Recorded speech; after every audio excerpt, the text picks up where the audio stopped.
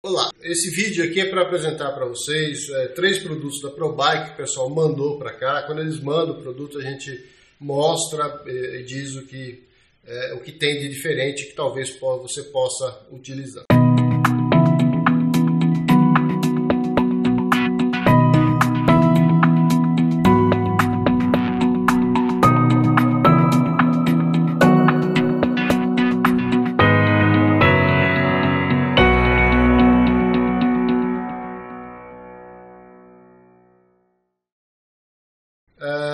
Uh, ProBike fez essa, eles já tinham, tem uma linha lá de, de alfoz, bolsa de guidão e tudo mais. Essa daqui é uma é, antiga que já tinha na linha, que eles é, remodelaram, que eles é, botaram um ângulo aqui e é uma bolsa de guidão simples, amarra com dois, com velcro na, na barra do, do guidão.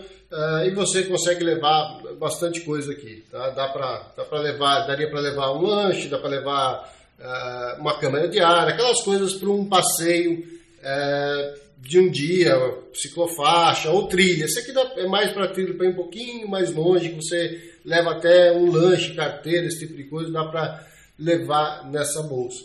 O que tem de novidade nessas questões de bolsa dele são essas duas aqui, que é uma bolsa, eles chamam bolsa de quadro, essa aqui que é para colocar atrás da mesa sobre o quadro, e essa bolsa de guidão top, que ela tem ela prende na mesa e no guidão.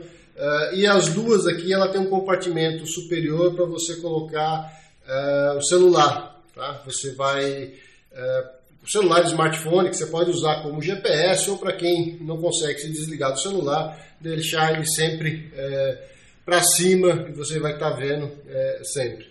A diferença nas duas é basicamente tamanho. Essa daqui, essa aqui é um pouquinho mais funda, uh, mas essa aqui ainda cabe mais coisas. Essa aqui vai é, para cima do guidão, que daria para usar até as duas se fosse o caso, tá? se você quiser é, levar mais coisas.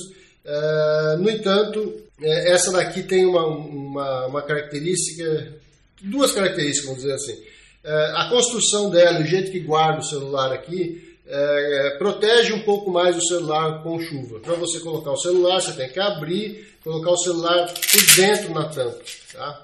É, com isso, você a chuva pegando do lado, com uma chuva leve, até ela conseguir penetrar para valer ou molhar para valer a parte do celular leva bem mais tempo. Então, é, essa daqui até para o cicloturismo pode ser interessante, e essa seria a segunda característica é, pelo volume dela, dá para substituir bem a bolsa de selim, porque quando a gente vai, bota alforge, bota um, um alforge top, a bolsa de selim, que às vezes a gente deixa ali mais rápido, a câmera de ar, a chavinha, a multi-chavinha ali para qualquer ajuste na, na, bike durante a viagem, é, pode brigar com o alforge top que encosta é, no selim. Então, é, se você tem problemas, teria que às vezes eu subir, soltar o teu selinho para cima para acessar a câmera de ar, esse tipo de coisa, ou às vezes nem, nem dá, é, dependendo do tamanho do seu bagageiro e assim por diante. Então essa daqui é uma que dá para trazer o que estava para trás para frente.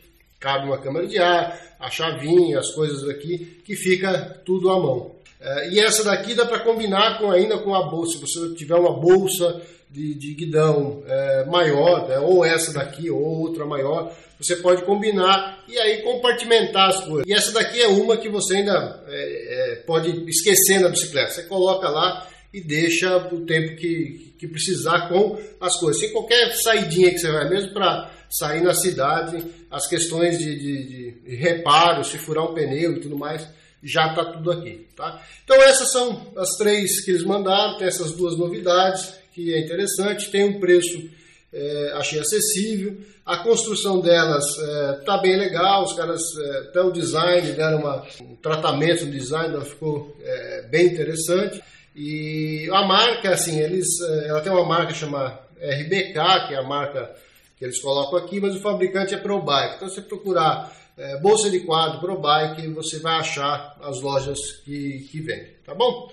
É isso aí da dica das bolsas de, de guidão é, da ProBike para você ter é, na bike.